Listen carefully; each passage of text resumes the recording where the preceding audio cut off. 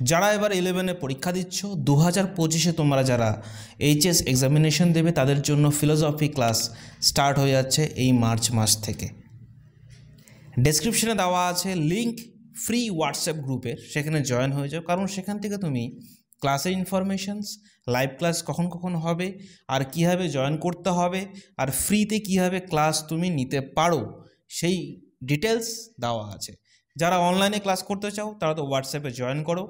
আর যারা অফলাইনে আসতে চাও, তো আসতে পারো স্ক্রিনের নিচে অথবা ডিসক্রিপশনে দেখে নিতে পারো আমাদের টোটাল অ্যাড্রেস সব কিছু দিয়ে দেওয়া আছে।